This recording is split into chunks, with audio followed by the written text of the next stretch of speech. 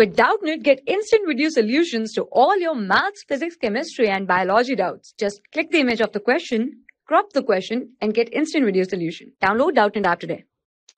Hello, we are given with a question and the question says an aeroplane an airplane takes off at an angle 30 degree with the horizontal ground traveling at speed of 180 km per hour. If it continues to fly with the same velocity in same direction, how long will it take to reach an altitude of 9 km above the ground? Right. So what are we given is at an 30 degree with the horizontal uh, airplane takes off with the horizontal ground at speed of 180 km per hour. So there would be two components of velocity that is ux and uy along x horizontal direction. So it would be 180 cos 30 and uy would be equal to 180 sine 30.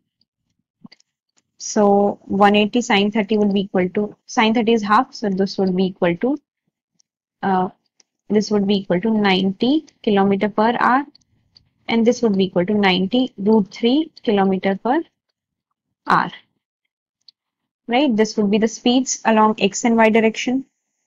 So time would be equal to distance by speed.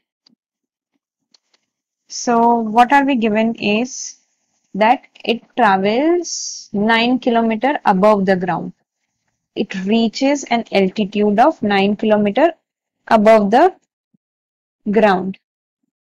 Right?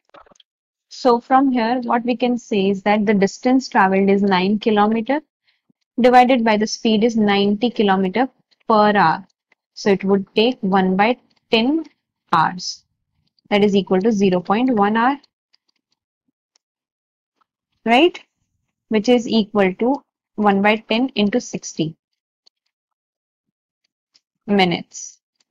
That is 6 minutes.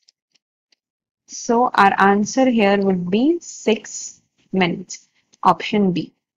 Thank you. For class 6 to 12, IIT JEE and NEET level. Trusted by more than 5 crore students. Download Doubtnut app today.